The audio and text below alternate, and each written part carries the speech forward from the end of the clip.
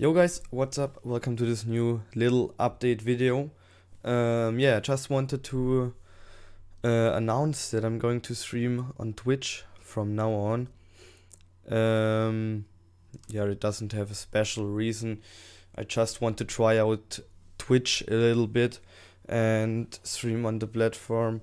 Maybe I will move back to YouTube. I don't know, but for now I will stream on Twitch. And yeah, so go follow me there. You will find the link in the description. Uh, I don't have a streaming plan, so yeah, just put on the notifications so you will get a notification when I stream there.